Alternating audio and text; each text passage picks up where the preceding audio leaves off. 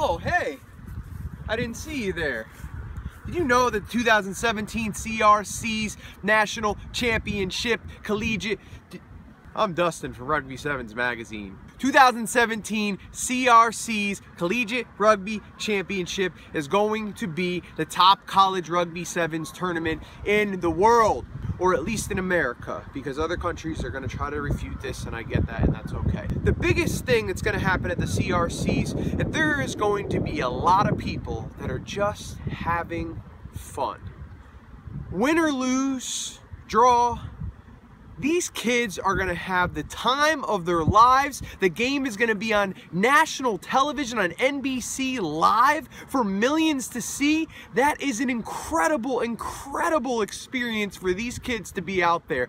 I would expect them to play maybe even better than they've ever played because when adrenaline kicks in, you could run faster, you could jump higher, and you could hit harder. So I would be ready for that, especially in Pool B. We have life Arkansas State, Wisconsin, and Notre Dame.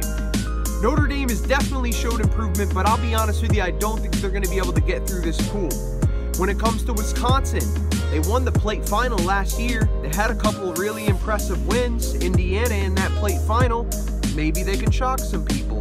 But I think the top two teams that are going to come out of this pool is Arkansas State and Life University.